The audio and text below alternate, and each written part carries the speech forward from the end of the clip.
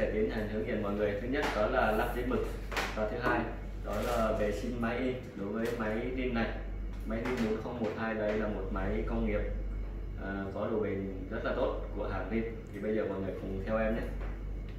À, đầu tiên em sẽ hướng dẫn mọi người lắp giấy mực. Thì em đã chuẩn bị sẵn một cuộn giấy màu và cuộn mực màu đây. Thì đầu tiên mình sẽ mở nắp máy lên ở bên hông nó có một cái nắp máy thì mình mở đây. Đây.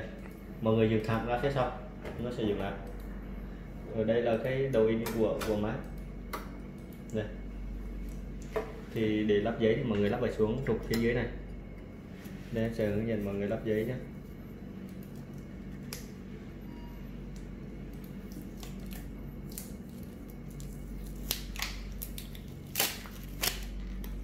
Đây. Thì lắp giấy thì nếu mà trục to, loại loại giấy to như thế này, là đây là loại 100 m thì mọi người để để thẳng vào bên trong như vậy. Đây, mọi người để thẳng vào bên trong. Nếu loại mọi loại mọi người loại nhỏ thì mình tháo cái con vít ừ, chắn ở đây nha rồi tiếp theo, mình sẽ mở cái cụm nối này lên, bằng cách đây có cần gạt ở phía bên này. Đây, bật lên, đây, mình đã bật được em đã bật được cụm nối lên. Rồi ừ, sau đó giấy ở đây đây mọi người lấy giấy nha luồn qua cùng đầu in. Đây mọi người có thể thấy luồn xuống phía dưới này luôn em phía dưới đây đây là con cảm biến giấy. Mọi người nhớ luồn xuống phía dưới luôn.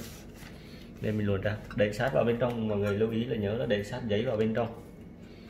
Sau đó mọi người thấy đây có cái cần gạt màu trắng này. Ừ, đây này hai bên có hai cần gạt màu trắng này. Mình sẽ đẩy cái cần gạt trắng này sát vào bên trong vừa sát với cổ giấy để nó cố định giữ giấy lại.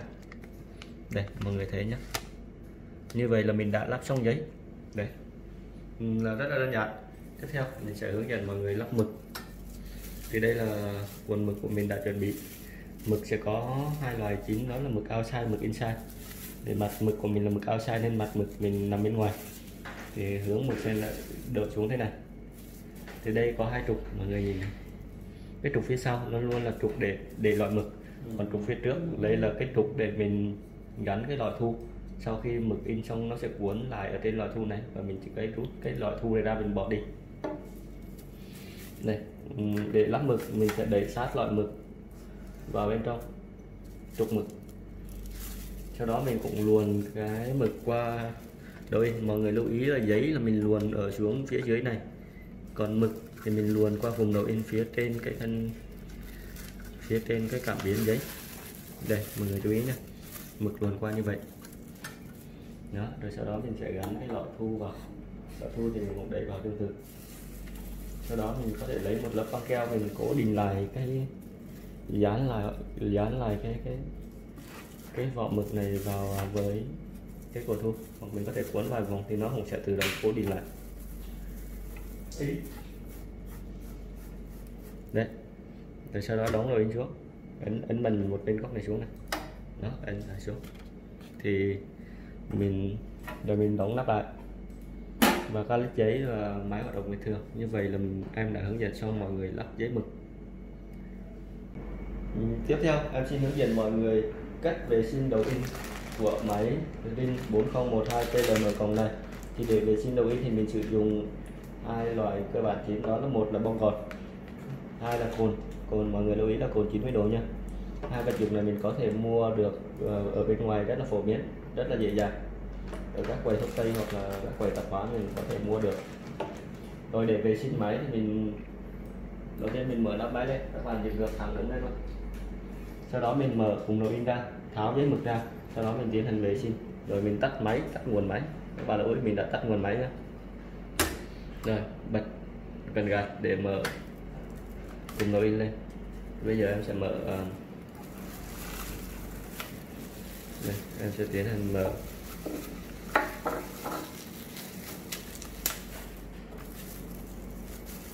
Em tháo giấy tháo mực ra. Đây em đã tháo giấy mực ra.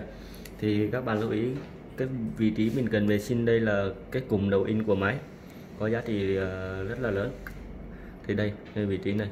Thì mọi người có thể thấy là đây là nguyên cùng đầu in mình vệ sinh ngay cái khoảng vị trí này. Thì để vệ sinh thì mình dùng một ít bông gòn sau đó là tẩm lên một lượng cồn vừa đủ vừa đủ ướt rồi, mình lấy xin bằng cất là mình đẩy qua sau đó mình lấy một cái bông gòn khác. Sau đó mình lấy một bông gòn khác và mình cũng làm tương tự là tầm một ít cồn lên như lúc nãy. Mình lau lại. Các bạn lưu ý là không đẩy qua đẩy về nhé nhiều khi bụi bẩn hay gì nó dính ở đây, mình cứ đẩy qua đẩy về làm xước đồ in với lại lưu ý là trong lúc mình vệ sinh thì nhận hay đồng hồ hoặc những vật sắc nhọn là tránh tiếp xúc vào cái vị trí này. À, vừa rồi em đã hướng dẫn mọi người cách lắp đặt giấy mực cũng như là cái việc vệ sinh đầu in với máy để mình có thể là bảo quản máy tốt hơn độ bền máy cao hơn. Không cần phải bị dựa chừng mình đang in mà gặp sự cố. Dạ, thì nếu mọi người có thắc mắc hay là cần hỗ trợ thêm mọi người có thể liên hệ tới số hotline của công ty thế giới vạn vật qua số 1900 3438 hoặc là có thể là truy cập vào đường link bên dưới để biết thêm thông tin và có thể liên hệ công ty thế giới vạn vật sẵn sàng hỗ trợ mọi người. À, xin cảm ơn. Hẹn gặp lại mọi người ở những video tiếp theo.